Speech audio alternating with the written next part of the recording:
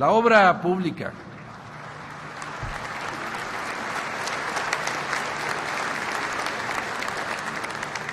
La obra pública en infraestructura de educación, salud, cultura y deporte ha sido también grande en esta administración. En educación, con una inversión de 3.146 millones de pesos, casi tres veces a todo lo invertido en la administración anterior, hemos logrado superar rezagos y alcanzar con construcción de escuelas el crecimiento elevado de la matrícula en este último lustro. Hemos multiplicado las instalaciones especialmente para jardines de niños y para preparatorias públicas. Hoy, por fortuna, hemos recuperado la capacidad de, oferta en ese nivel y se han ampliado significativamente, además, las edificaciones públicas y privadas de nuestras instituciones de educación superior en Nuevo León. Aquí en nuestro estado se han construido muchos y buenos hospitales y clínicas privadas pero desde hacía 13 años que no se construía un nuevo hospital público, ni del Seguro Social ni del Estado. Hoy contamos, gracias al apoyo de la Secretaría de Salud, de los diputados en el Congreso Federal, del municipio de Guadalupe, de la Fundación Arronte y de aportaciones del Gobierno del Estado, con uno de los más grandes complejos hospitalarios de América Latina en su género, el Hospital Materno Infantil. Este hospital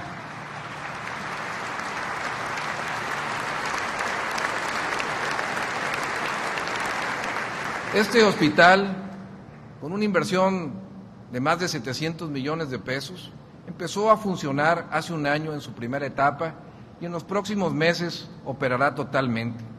Es fundamentalmente para mujeres y niños con limitaciones económicas que no cuentan con seguridad social.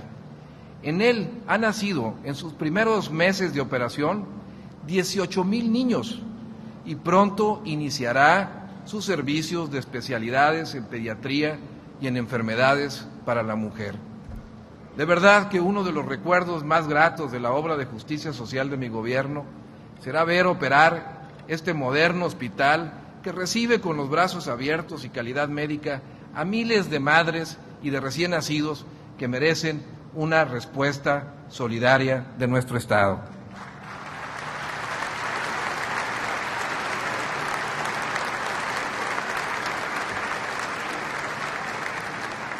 Nos preocupa, por contra, el déficit grande de infraestructura del Instituto Mexicano del Seguro Social, una institución clave para la salud y la seguridad social de los trabajadores de México. Esperamos que muy pronto con carácter de urgente, como le hemos venido conversando con la Dirección Nacional del Seguro, se inicie la edificación de cuando menos tres grandes hospitales para evitar el colapso de la prestación de los servicios a los derechohabientes de la región. Si hacemos eh, un recuento de la importante obra civil y pública en los últimos cinco años, si incluimos los miles de nuevos fraccionamientos, los cientos de nuevos parques industriales y comerciales, si reconocemos el equipamiento urbano amplio, si advertimos que la recolección ordenada de basura, con la que se genera por primera vez en México a partir del biogás, electricidad, aquí lo estamos haciendo en Nuevo León, para abastecer el alumbrado público del área metropolitana de Monterrey y el metro, si observamos cómo nace una nueva visual de edificios verticales y si registramos el movimiento en nuestras vialidades, advertimos que nos hemos convertido ya en una ciudad grande y moderna, una ciudad rodeada por montañas y cerros emblemáticos. Nos faltaba, sin embargo, una transformación del centro, una reestructuración urbanística que aprovechara las grandes obras de administraciones anteriores, que las integrara y al mismo tiempo abriera espacios libres para admirar nuestro entorno urbano, para pasear y convivir. Las grandes ciudades, las ciudades de destino, tienen sitios así, sitios a mostrar, a presumir, a convidar y a convivir. Nuestra metrópoli cuenta ya con ese lugar. Es el Paseo Santa Lucía, que integra uno de los circuitos más bellos y prometedores de México, el circuito Macroplaza Santa Lucía Parque Fundidora. Lo inauguramos en su primera etapa hace 12 meses y ha sido un éxito. Valió la pena el esfuerzo de tres años para lograrlo. Más de un millón de personas han paseado ya en las embarcaciones del río. Presidentes, embajadores, empresarios, artistas, personajes de todo tipo lo han recorrido y se estima que más de 15 millones de paseantes lo han visitado. Hoy Santa Lucía es un ícono turístico, ecológico, cultural, recreativo y social de México. Muy pronto habremos de iniciar con Fonatur la segunda etapa para ampliar el proyecto, integrando al circuito al barrio antiguo, aportando los terrenos aledaños al río que son propiedad del gobierno del Estado y propiciando una asociatividad con el municipio de Monterrey y con inversionistas privados. La idea es contar pronto con un plan maestro que le dé un valor agregado al circuito y lo convierta en un detonador turístico y de recomposición urbanística. Si tuvimos la capacidad de aprovechar el aporte de generaciones y administraciones anteriores, dejaremos también en el año que nos falta los cimientos para que administraciones posteriores continúen con el desarrollo de este sueño hecho realidad que es ya patrimonio del pueblo y un timbre de orgullo de nuestro Estado.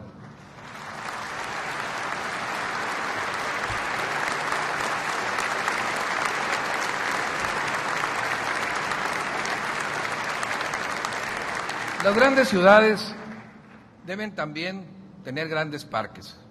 Contamos con uno extraordinario, único y de calidad mundial, el Parque Fundidora que con el concurso de gobiernos anteriores y con una inversión pública privada nueva en estos últimos años de alrededor de dos mil millones de pesos y con la participación de un Consejo Ciudadano, continúa su programa de transformación.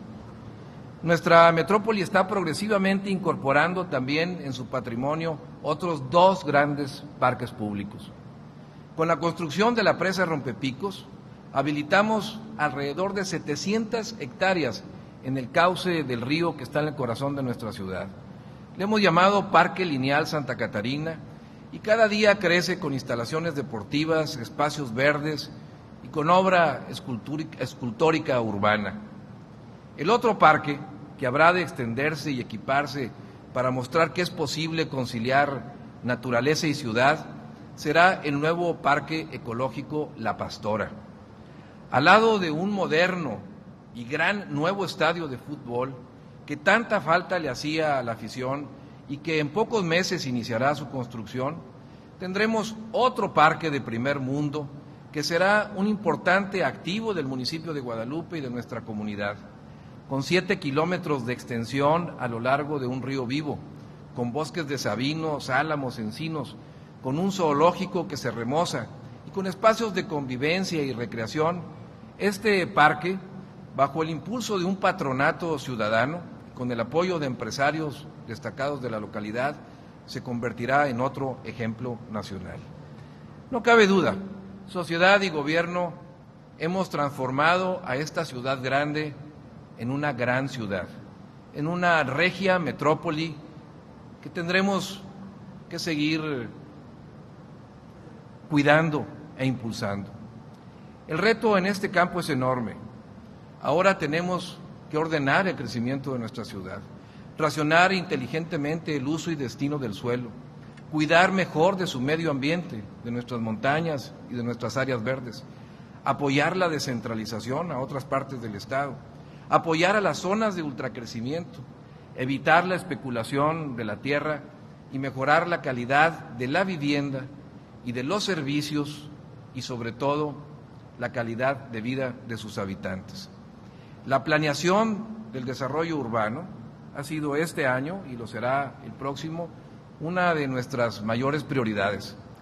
Recientemente, con la participación de los municipios, propusimos un plan de desarrollo metropolitano y otro plan para la región suburbana.